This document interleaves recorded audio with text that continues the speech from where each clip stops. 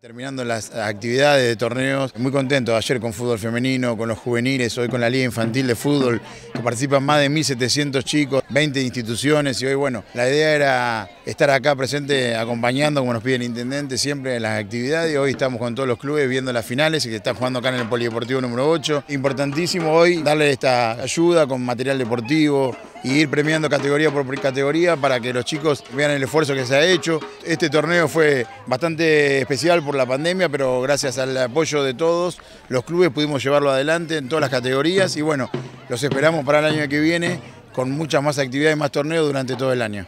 Me encanta porque lo saca un poco de la tecnología, del sedentarismo de la calle, está con sus amigos y es una competencia sana. El municipio se portó, las canchas están excelentes, las instalaciones, así que estamos más que conformes.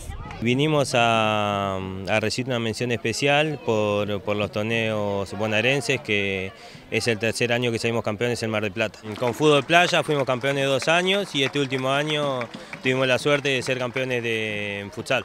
A mí este club me re gusta, me hago amigo, todos, son todos compañeros.